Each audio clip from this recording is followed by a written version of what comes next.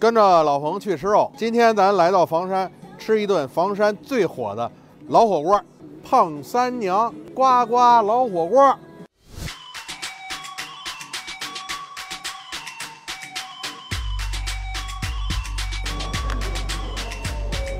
吃这种川式火锅，尤其这种老火锅，第一要看它的牛油锅底儿。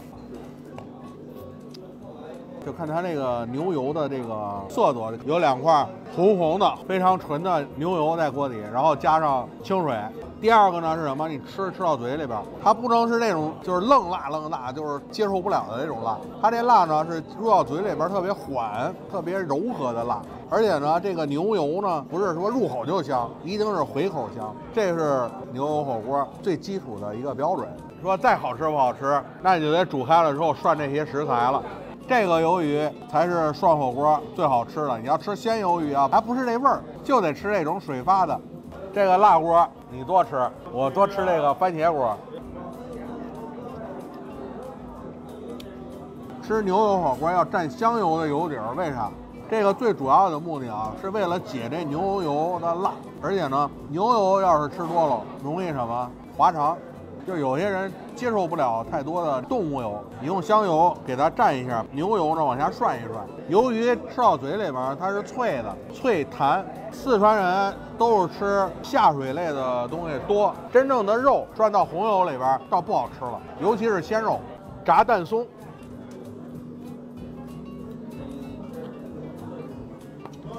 和鸡蛋绝配的就是番茄。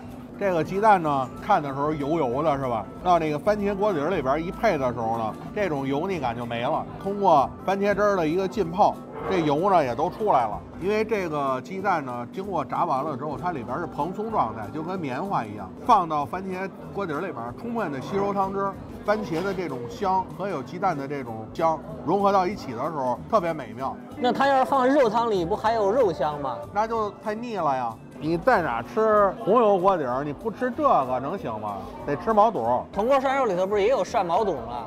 清汤的你得裹着麻酱吃，这红油锅底儿蘸一点盐就很香。这种一二片的，这是毛肚里边最嫩的地儿。你要是说我切成一条一条的，这个呢是带着这个肚壁，就是那种的呢适合做爆肚。就是在四川啊，红油火锅里边，人家不涮肉，都涮它。它是为主，但是咱北方是以涮肉为主，它为辅，反过来了。你看这个锅底呢，吃到嘴里边呢，它辣而不燥。你刚开始辣，但是越吃辣味越大，因为什么？你的味蕾已经适应它这个辣椒刺激了，后边越吃越舒服。鹅肠，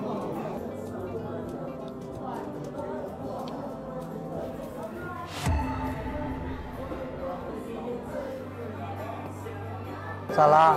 全是花椒。我以为翻车了。这个鹅肠呢，一煮它打卷了，全是花椒，我这一口就下去了，整个嘴全麻了。这一口没尝出味儿来啊，这有点像吃人参果啊。它这个吃到嘴里边是脆的，你要是不鲜，吃到嘴里边梗了。所以说，好鹅肠配上好的底料是很重要的。鹅肠你要是用清水煮，有一股。反正我是不喜欢的味道，它这个就得要用这种重口味的锅底去煮，它才好吃。人家找的这个锅底找到正根儿上，这个锅底适应的群体很广。这个呢是属于发酵型锅底，任何的锅底你经过发酵到了一定的时间，它口感呢能达到最佳。假如你要刚炒出来的锅底，就跟刚酿出来的酒是一样的，非常烈，非常冲。辣的你冒火，一闻就要打喷嚏这种感觉。但是人家这个不，闻着这种香，还有入口的这种辣，都是非常柔和的。以前在北京有很多做川式火锅的，都是现炒料，后来呢也是逐步逐步都消失了。为啥？那现炒还不好？不是，现炒料很麻烦的，费工、费人、费时，技术要领要求还很高。所以说吧，现在四川好多都是什么？都是进工厂嘛，他们到工厂里去炒。咱们现在吃到的市面上的火锅，百分之八九十以上都是在工厂操作的。真正的说，还是有老师傅一锅一锅炒的这样的店，目前在四川的街头，就是民间的一些小店还能看得着。